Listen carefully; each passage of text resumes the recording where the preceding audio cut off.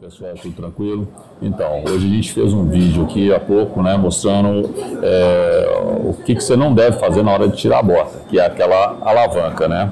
E assim, eu expliquei para nunca colocar o pé aqui e fazer essa alavanca, porque isso vai realmente é, puxar essa parte aqui para baixo e vai descolar.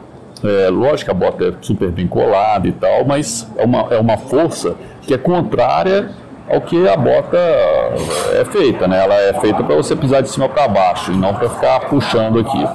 A gente sabe que todas as nossas botas, por exemplo, elas são costuradas aqui, ó, elas são blaqueadas. Olha, esse blaqueado ele é na parte da frente, porque aqui é onde você pode chutar, ter um esforço assim, e normalmente a bota abre é aqui. Ela não costuma abrir aqui atrás. É, eu trouxe essa outra bota aqui, ó. Essa aqui é uma bota Goodyear, uma bota de super qualidade. Esse aqui é um exemplar bem antigo, velho. Trouxe até assim para vocês verem como é que fica, né? Depois de muito usado.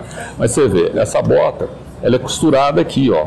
Daqui para cá, tá vendo? Se está para ver, mas tem uns pregos aqui. Então o salto ele fica preso por prego e cola. Então se a gente começa a fazer um esforço nesse sentido aqui, essa bota vai soltar isso aqui. A tendência é essa. Então, é por isso que eu acho que vocês deviam conferir desse hábito, né?